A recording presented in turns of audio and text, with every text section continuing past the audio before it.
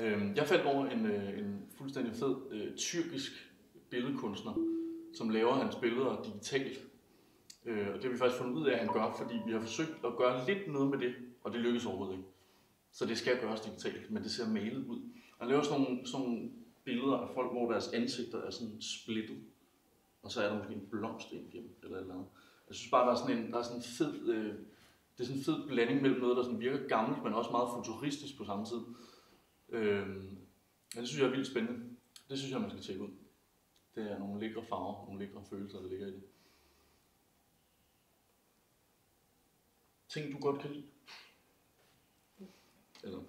Ja, ja. Øh, så jeg har en ting, jeg bliver ved med at vende tilbage til, det er Daft Punk's live-plade. Jeg kan ikke lige huske, hvad år det var. Jeg tror, det er 2007.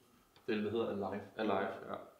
Øh, og det er både fedt at høre hele pladen. Der er videoer på Vimeo og YouTube, hvor at det er egentlig bare publikum, der optaget det, og så sat det sammen, så man kan se hele koncerten.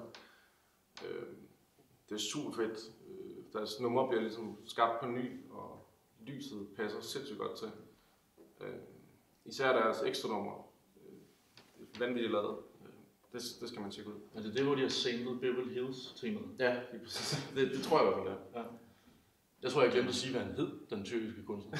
jeg er lidt i tvivl med, jeg kan nok ikke udtale det, men, men Aykut Aydogdu, hvis man bare siger det som dansker og læser det. Det er nok ikke sådan, man siger det. Men øh, det skal tjekkes ud.